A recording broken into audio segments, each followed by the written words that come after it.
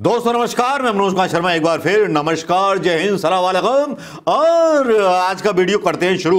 लेकिन आज का वीडियो इसलिए भी ज़्यादा इंपॉर्टेंट है क्योंकि जुड़ा हुआ है किसान आंदोलन के साथ। और किसान आंदोलन की बहुत सारी खबरें हैं। भैया, दिल थाम करके, ये वीडियो थोड़ा सा लंबा होने वाला है। हर बात को सुनिएगा।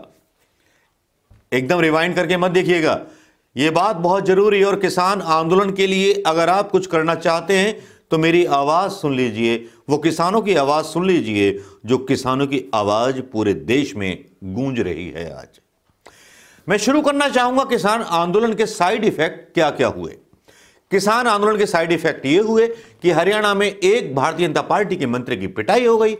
उसका वीडियो हम नहीं डालेंगे, क्योंकि यूट्यूब की पॉलिसी का बॉयलेंस करना होगा। अब उसके बाद गोबर प्रेमियों को एक ट्रॉली ट्रैक्टर कैबिनेट मंत्री, भारतीय जनता पार्टी के तीक्ष्ण तीक्ष्ण तीक्ष्ण सूद, उनके घर पर जाकर के किसान डाल आए। और बड़ा लंबा चौड़ा वक्तव्य दिया उन्होंने, भैया किसानों ने। भाई, किसान तो बोल दिए, जो हमारे खिलाफ जाएगा, उसको हम बख्शेंगे नहीं, मारेंगे नहीं, पीटेंगे नहीं, लेकिन उसका जो मन प्रिय आहार है, गोबर, जो करोना भगाता है वो उनके घर पर डाल आए। अब घर पर डाल आए तो कोई बात नहीं।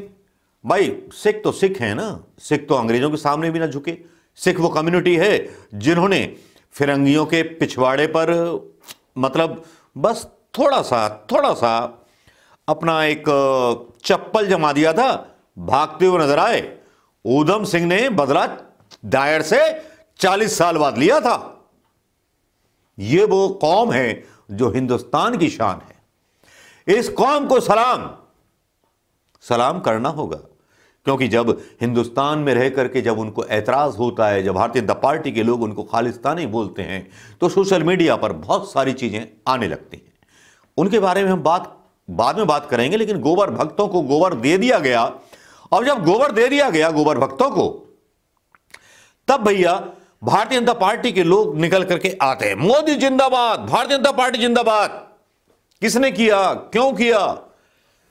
ये देख करके मुझे लगता है यही वो लोग हैं जिन्होंने उन्नीस सौ चौरासी से पहले अपनी भूमिका वो अदा की थी लाल कृष्ण आडवाणी के नेतृत्व में, जिन्होंने हिंदुस्तान के अंदर एक नफरत का भाव पैदा कर दिया था। आज हिंदू मुस्लिम करना चाहते हैं, तब इन्होंने हिंदू और सिख के बीच खाई खोदी थी।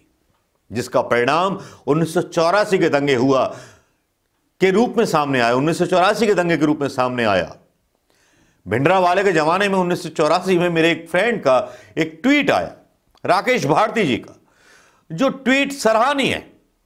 उस ट्वीट को मैं कोट करना चाहूँगा, जिसमें बोलते हैं, राकेश भारती, चौरासी में भिंडर वाले के खौफ के चलते राष्ट्रीय स्वयं सेवक के लोग पुलिस के पहरे में शाखा लगाते थे।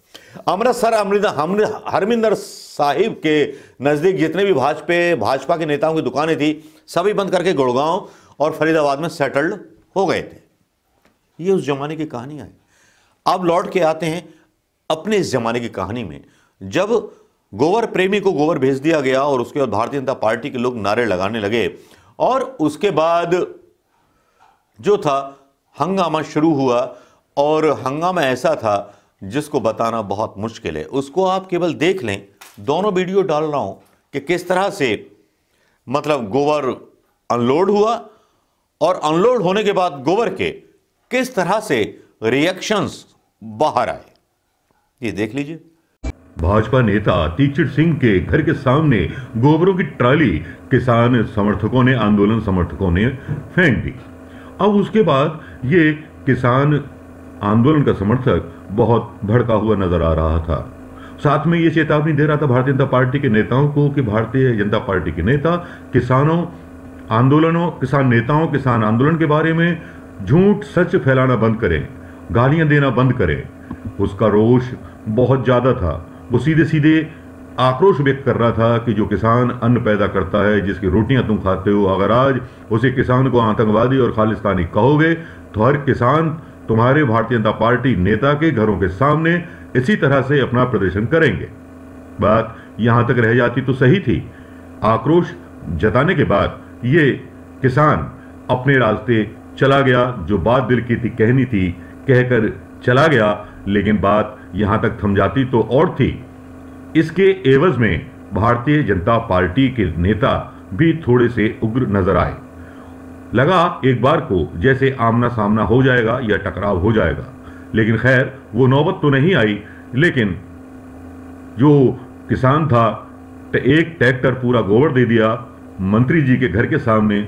हालाँकि वैसे गोबर जो है, भारतीय जनता पार्टी के नेताओं के लिए शुभ है, लेकिन दूसरी तरफ़ जब ये गोबर गिर गया, तब तीक्ष्ण सूद जो कैबिनेट मंत्री हैं, उनके समर्थक जोरदार नारेबाजी करते हुए, उनके मकान पर इकट्ठे हुए लेकिन तब तक किसान तो जा चुके थे तो टकराव का तो शायद प्रश्न नहीं उठता।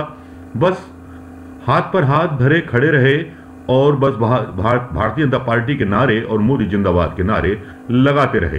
बस ये था हाईटेक ड्रामा, जो समाप्त हो गया इसी बात के बाद। ये देख लिया होगा दोस्तों। अब इसके बाद सर्द रातों में, सर्द शामों में नंगे घूमते पंजाबी सिख, विरोध करते किसान आंदोलन में प्रधानमंत्री मोदी जी के उन तीन अंधे कानूनों का, जिनका जवाब किसान बैठे हुए मांग रहे हैं सिंधु बॉर्डर पर। इनकी हिम्मत की दाद देनी होगी। देश को बचाना हो तब भी शहादत देते हैं और देश के लोकतंत्र पर बात बन जाए तब भी शहादत देने के लिए तैयार हो हो जाते हैं। चालीस लोग मर चुके हैं। लेकिन सुनने वाला कौन है? प्रधानमंत्री मोदी जी, पाकिस्तान में कोई मर जाता है तो उसको ट्वीट कर देते हैं। लेकिन किसान से मन की बात करते हुए 40 लोग बॉर्डर पर मर गए, उनको देखने तक नहीं आते, उनको श्रद्धांजलि तक देने नहीं आते। उल्टा पीयूष गोयल, राकेश टिकैत को ब्लैकमेल करते हैं। जिसके वीडियो आपने देख लिए होंगे। अब हो क्या रहा है कि सैनिक भी इसमें शामिल हो गए। सैनिक भी शामिल हो गए। उनका किसी का वीडियो मैं यहाँ डालना नहीं चाहूँगा। जिन सैनिकों ने सीधे सीधे चैलेंज कर दिया है, केंद्र की मोदी सरकार को, सुधर जाओ वरना सामने आके मार देंगे। हमारे बापों को मत सताओ। आक्रोश फैल रहा है और प्रधानमंत्री मोदी जी शायद अपने मीडिया के साथ बड़े खुश हैं। बहुत सारी चीज़ें आ रही हैं सामने। मोदी जी को लगता है कि जो गोदी मीडिया जो खरीदा हुआ है, वो उनको बचा लेगा। लेकिन शायद बहुत बड़ी भूल में है। ऐसा ना हो पाएगा। मोदी जी, ये साल आपके लिए मनहूस है। मैंने प्रिडिक्शन कर दिया था। ब्राह्मण आदमी पंडित आदमी कई सिद्धियाँ कर रखी हैं मैंने, और मैंने बोल दिया था, तेरा सर्वनाश होगा। तो सर्वनाश इसी साल होगा। याद रखना इस बात को। किसानों के साथ अन्याय का मतलब है कि आम जनता के साथ अन्याय। सुधर जाइए। वरना भगवान श्री राम भी आपसे नाराज़ हो गए। भगवान श्री राम भी आपसे नाराज़ हो गए। ठीक है? अब ज़्यादा दिमाग ख़राब मत करो। नमस्कार, जय हिंद।